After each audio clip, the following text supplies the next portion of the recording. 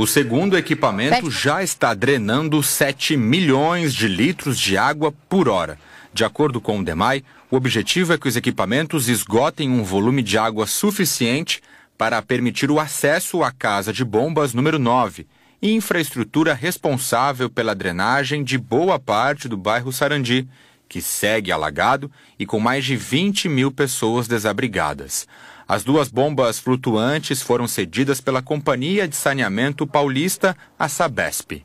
Outras duas bombas iguais a essas serão instaladas exatamente aqui nesse ponto.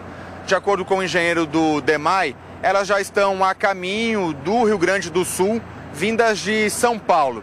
A ideia é fazer a instalação do outro lado da casa de bombas, justamente para dar mais vazão. A previsão é de que elas sejam instaladas até o próximo fim de semana.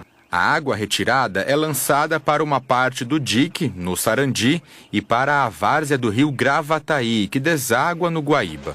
Ao todo, serão instaladas nove bombas flutuantes na região e mais oito bombas em Canoas e uma em Novo Hamburgo.